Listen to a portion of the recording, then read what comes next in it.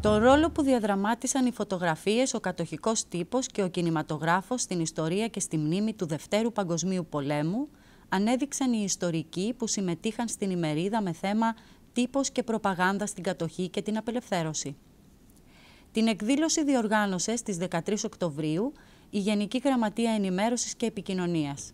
Μαθαίνουμε λοιπόν από το παρελθόν, αποδεχόμαστε από το παρελθόν και συγχρόνως προσπαθούμε να αλλάξουμε ε, το σήμερα. Αυτή είναι η αξία το να έχεις σημαντικά ιστορικά τεκμήρια, να τα ψηφιοποιείς, να τα αξιοποιείς και να τα δίνεις πίσω στο ε, ευρύ κοινό. Στο κοινό παραβρέθηκαν πολλοί πανεπιστημιακοί δάσκαλοι και ερευνητές της περίοδου.